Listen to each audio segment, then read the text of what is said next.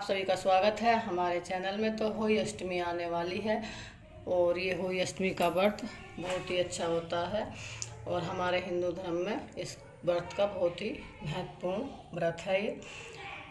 तो देखिए, जिनके बच्चे हैं, वो अपने बच्चों की दीर्घायु के लिए और उज्जवल भविष्य के लिए ये व्रत रखती हैं और जिनके बच्चे नहीं हैं, वो अपने बच्चों की कामना करते हैं कि हमारे बच्चे हो जाए। इस तरह से ये व्रत रखते हैं। तो होली अष्टमी में हमें क्या क्या सामान चाहिए और किस किस सामान की आवश्यकता है?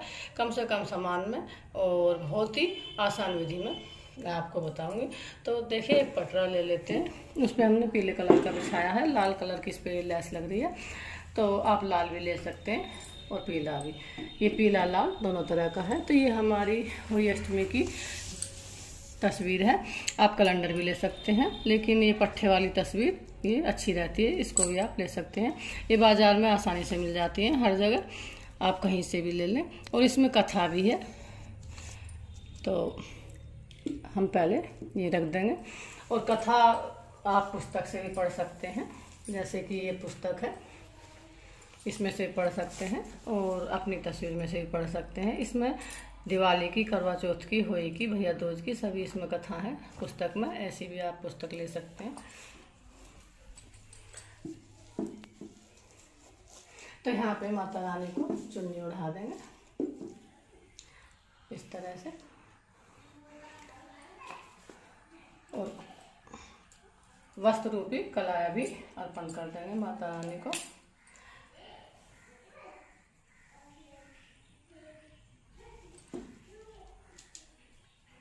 तो देखिए, यहाँ पे हमें ये चाहिए एक कमोई बोलते हैं इसको।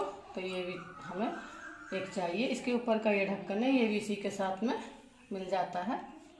ये गाँव में भी कुम्हार बेचते रहते हैं, वहाँ भी सब ले लेके आते हैं तो वहाँ से भी ले सकते हैं। कुम्हार के यहाँ भी मिल जाते हैं। बाज़ार में भी टोकरे में रख रख के पूरे बाज़ार में कहीं भी मिल जाते हैं।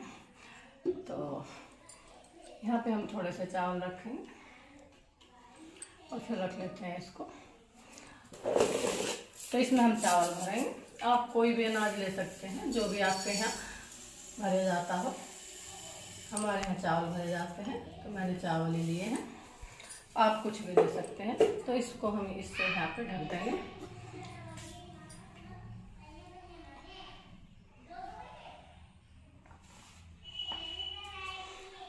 और इसके ऊपर हमें फिर ये रखना है। इस तरह से। ये करवा है। कप आप मिट्टी का भी ले सकते हैं, मेरा स्टील का है। और आप चाहें तो मिट्टी का भी ले सकते हैं, जो, और स्टील का भी, कैसा भी आप ले सकते हैं। तो इसमें हम जल भरेंगे। और इसको भी हम यहाँ पे ढक देंगे। तो देखिए, कलवे के कंठ में और कमोई के में भी हमने कलाया, बाँध दिया है। और यहाँ पे अब हम श्याम माता को बना देंगे। और एक लोटा भी रखेंगे जल का भर के, जो हमें सूरज को देना होता है कहानी पढ़ के तो यहाँ पे हम लोटा भी रख लेंगे। और ये भोग प्रसाद भी रख लेंगे यहाँ पे।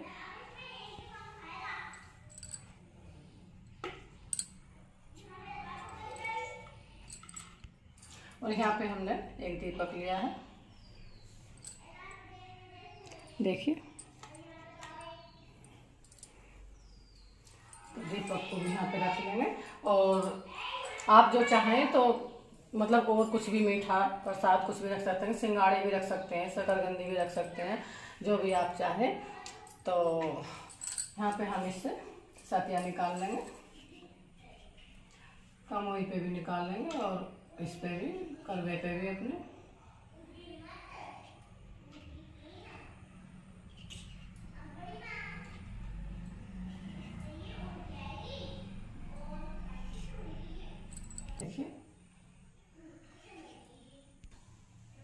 वो तिलक कर लेंगे, सब माता को भी, सभी देवी देवताओं को, चाँद सूरज को, सभी को हम तिलक करेंगे।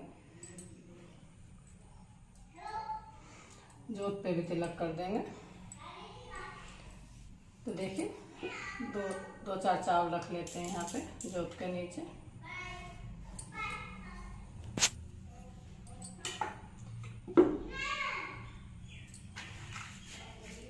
और यहाँ पे ये हमने श्रृंगार का सामान और कपड़े लिए हैं, देखिए। और दक्षिणा आप जितना चाहें, अपनी श्रद्धा अनुसार रख सकते हैं। तो मेहंदी, चूड़ी, सभी श्रृंगार के पाँच सात सामान हमने ले लिए हैं और कपड़े ले लिए हैं और दक्षिणा रख दी है। तो ये आपको ज़रूरी रखने होते हैं। और यहाँ पे रखे जाते हैं पूड़े। आपको पूड़े बनाने हैं आटे के। तो पूड़े बना के दस पूड़े पूजते हैं हमारे यहाँ तो। बाकी जैसी आपके यहाँ परंपरा हो, जैसा भी आपके यहाँ होता हो, आप ऐसा कर सकते हैं। लेकिन हमारे यहाँ दस पूड़े पूजे जाते हैं होली अष्टमी को। और उसके बाद आप कचौड़ी, हलवा, जो भी मन में हो कुछ भी रख सकते हैं। लेकिन सबसे पहले पूजन में हमें रखने हैं यहाँ पे पूड़े। पूड़े का ही भोग लगता है। उसके बाद कुछ भी आप जितने भी कुछ मिठाइयाँ, कुछ भी कुछ भी आप रख सकते हैं। तो देखिए दोस्तों, ये हो अष्टमी का सामान, हमने आपको बताया। ये बहुत ही कम से कम सामान है और आसानी से सब जगह ये सामान मिल जाता है। तो यहाँ पे धूप लगा ली है जोत लगा ली है और थोड़ा आप आरती कर दें इस तरह से। और माता से मन्नत मांगे कि हमारे बच्चों की दीर्घायु हो, अच्छे उनमें संस्कार हो अच्छे काम करें, अच्छी उनकी बुद्धि हो, उज्जवल उनका भविष्य हो, और हमेशा निरोग और स्वस्थ रहें। और आप अपने बच्चे को जब रात को जल दें तो चंद्र तारे को इसमें रख दिया जाता है। तो तारी तारी को जब आप जल दें तो आप जो बच्चे को साथ भी रख सकते हैं, क्योंकि उसको भी तिलक विलक करके और उसकी, उसी के पास खड़े होकर अपना तारे को जल देना चाहिए। और तिलक लगा के उसके सिर पे हाथ फैलाना चाहिए। तो दोस्तों, ये थी आज की मेरी छोटी सी जानकारी। और आपको ये मेरा वीडियो कैसा लगा? अच्छा लगे हो तो लाइक करें, शेयर करें और मेरे चैनल को सब्सक्राइब करें। तो मिलते हैं फिर कल और एक वीडियो में। तब तक के लिए धन्यवाद।